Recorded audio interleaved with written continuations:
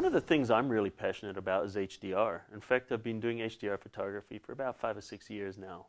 And I'm really excited about what Photoshop CS5 has got for the HDR photographer. Check this out. So what we're going to do is we're going to click on Mini Bridge here, and this shows us our files here. It's a representation of, of Bridge, just a little small one. It works pretty good for finding things pretty quickly. It has some limitations, but we can launch Big Bridge just by clicking there. Um, what we could do is we could open these bracketed shots to merge them, but opening them on the desktop and then merging them is very messy. What we want to do is do it from Bridge. So that's going to right click here, and I'm going to see this option that says Reveal in Bridge. Click there and it takes us right through to Bridge. Now what we want to do is we want to merge these different shots together, but before I do, let me explain to you what HDR really is.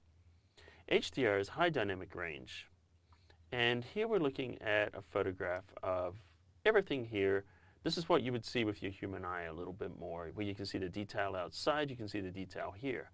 Now the camera is not able to capture that much detail because the sensor is a little bit limited. So let's look at, say, something we might capture with the camera. Maybe this is a good exposure here.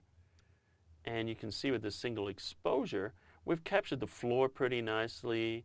Uh, maybe a little white balancing issue here, but it's not too bad. Uh, but outside, notice it's completely blown out. It's just white. And in the area here, notice that this is very dark and the details being lost in this beautiful section here. I'm just scrolling through different images here as I'm doing that. Um, so what we need to do is we need to uh, capture multiple shots. So here's the first one where we've really stopped this down and you can see that we've exposed this for outside. Notice we've got all this detail the people outside, but in order to get a proper exposure, the inside becomes very, very dark. Then in order to just grab another exposure here, where we want to bring out the detail here, so we've got beautiful detail here now, but you know, the outside's completely blown out, and so is pretty much the rest of the interior. We could probably recover this a little bit, but these areas here are clipped, we'll lose that detail. So the idea of HDR is high dynamic range, which is where we're going to take several shots. So I've taken one, two, three, four, five, six shots that are bracketed two stops apart, to enable to capture the entire dynamic range of the image. And now we're going to go up under Tools, we're going to go to Photoshop, and then we're going to choose Merge to HDR Pro. Now we get a little warning here because I didn't use RAW files. Now typically when I work in HDR, I always use RAW files. The reason I use RAW files is because there's more dynamic range than there is in a JPEG. A JPEG cannot have more than 8 bits of information, so shooting in a JPEG and in for HDR is kind of pointless. And also merging it together um, like some people say use Photomatix for merging it. Not a good idea because Photomatix converts it to a JPEG right on, on conversion where you're throwing it down to an 8-bit image. Anyway, here we are in HDR Pro. Let me just drop this down a little bit so you can see everything clearly. And what we've got is we've merged these six images together and notice now we've got a photograph where the entire dynamic range is showing. Notice outside we can see, inside we can see beautifully, we can see the detail here. Now, we've got a little thing that's happened now. The new thing is called remove ghosts. Sometimes when things move in a photograph, we can see some ghosting. Not really too bad in here, although let me, let me uh, actually zoom in a little bit at 100% here. And maybe you can see a little ghosting here because you know the people were in both exposures, people walking here and then people walking there. So we click this option here. This says remove ghosts. So what this is going to do is it's actually going to go in here and it's going to set one of the images, which is actually sitting as this one here, for deghosting. Now, it doesn't work so well in this photograph, but this works really well in ones, you know, where perhaps we've got some wind blowing in some trees, we've got some clouds moving, we've got more movement. And what we can do is we can find we don't get the result we want, we can click on a different image and set that as a ghosting image. Notice the green appears around it, and now it sets that as a deghosting image. Let's go back here though, because in this case we're not really too worried about it. We're just making some adjustments. Uh, I've pretty much made the adjustments that I want. Maybe we could play around with the gamma, brighten up a little bit. Takes away the mid-tone contrast a little bit. Turn it to the left, makes it more contrasty. We can brighten it up a little bit with the exposure, but be careful we don't want to blow out everything outside.